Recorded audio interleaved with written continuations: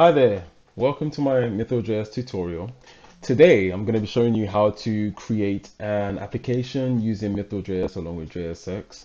I'm going to be making requests to Typicode's user API and uh, I'll use that to pull out the users from the API and then use that in the smart component and pass it down to dumb components. Smart components essentially are responsible for handling all of the complex logic whereas dumb components are only responsible for receiving information and displaying the information that you give it.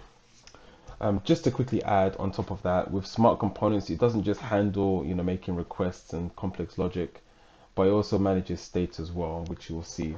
So let's let's get cracking. So inside the my application already, I have webpack config.js, which basically just contains the traditional setup entry output module as well as resolve. I also included the plugins as well and i basically just said okay include mithril by default include the mithril library and pass it to this end property so that I won't have to keep on including it and importing it in every single um, application that uh, every single component that I have.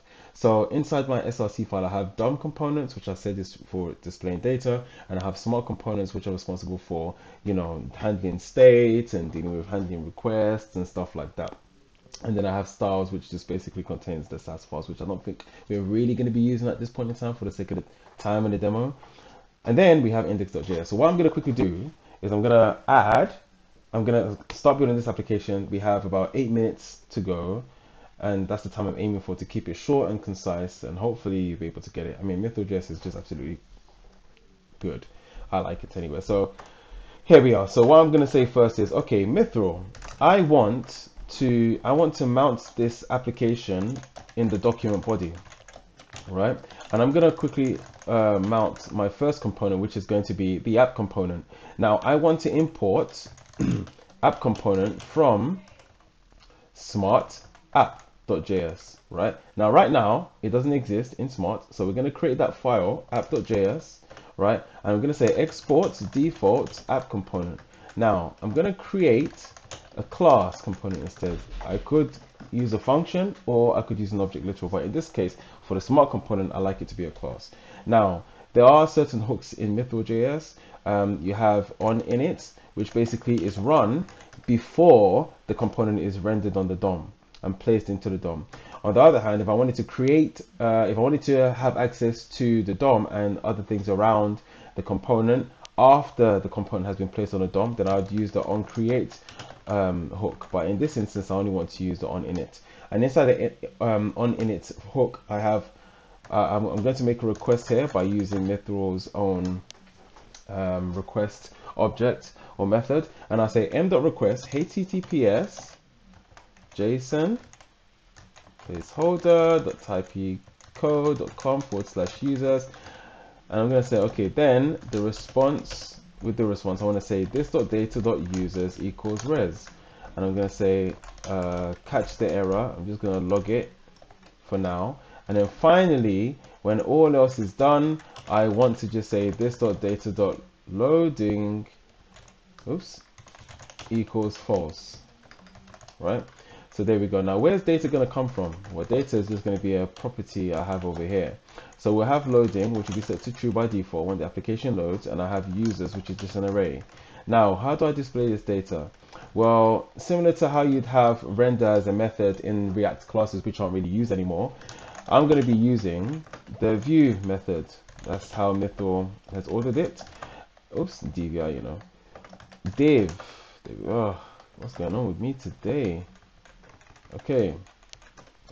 I'll just quickly just display the actual data itself. So I'll just say display the data null and to indent by two spaces. Now let's have a look. I'm just going to hit save and let's see what this looks like. There we go. So we've got loading as false and we've got the users. Now, what I want to do is inside the app component, I'm going to say that for each of the users, I want to map it and pass it into user, what we see, which we see right here.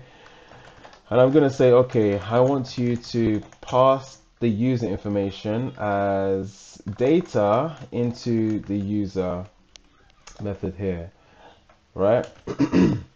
So in fact, even better, I could just simply just pass the entire user object in there and there we are so with that being said let's see. Let's create the user component which I'm going to do. It's a dumb component.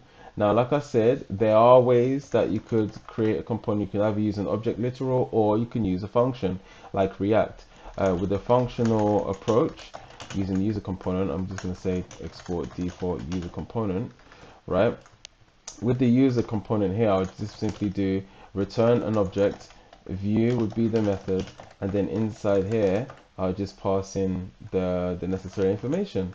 But for but for now just to show something different I'll just say okay let me create an object literal that contains view as a method right? And it's not going to be an arrow function it's just going to be an ordinary method.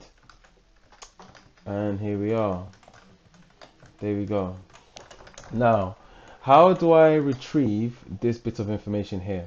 I'd simply do that by first off looking at the v node virtual node right? And what I'm going to do in here I'm just going to say console log v node and I'm going to just pass in over here. Just me two seconds. I'm going to say I want to return a div tag